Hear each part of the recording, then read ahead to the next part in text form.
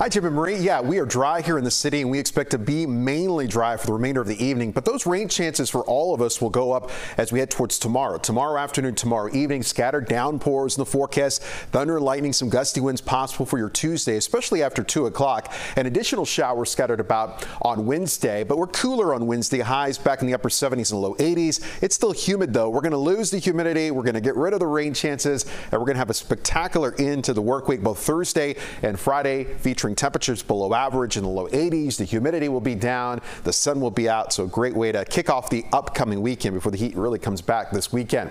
All right, we're dry right now in Chicago. We have a lake breeze. That's why we're enjoying that wind out of the east. Lake breeze right now to Page County, moving to southwestern sections of Cook County. That's running into these little boundaries. See these little green lines? These are outflow boundaries from thunderstorms. And as these collide, not too far from Geneva and Elgin, we may see additional development for showers and thunderstorms right in here. Notice this updraft, boom, starting to go up with a little clap of thunder to the north of Geneva and back off towards the west of Elgin and South Elgin. Also additional showers sending this little outflow boundary into northern LaSalle County, currently focused over DeKalb County right now.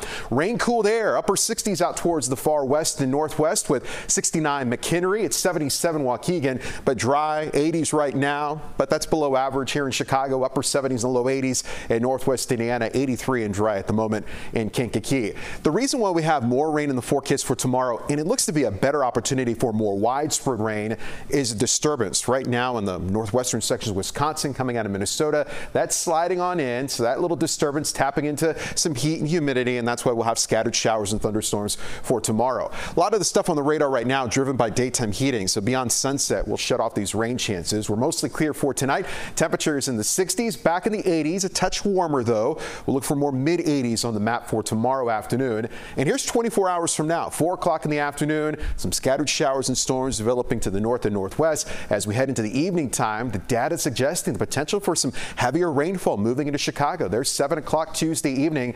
Cloud to ground lightning, that's going to be a threat. Could have some wind gusts up to around 40, 45 miles per hour. And those scattered opportunities of showers and storms even linger into the latter part of the evening on your Tuesday. More shower activity, though, on Wednesday. I think less of a chance of thunderstorms because the atmosphere will a little bit more stabilized and cooler on Wednesday. And then we dry out and we really start to see those humidity levels drop as we head into Thursday and Friday. Humidity, though, starts to go up as we head into early next week. Also going up is the heat. Here's a check of the extended forecast. So temperatures below average today, below average for most spots for tomorrow, and then we're really nice again Thursday and Friday. Watch the heat humidity though come back this weekend. You really start to feel it on Saturday at 87. We'll be near 90 on Sunday with an isolated storm chance.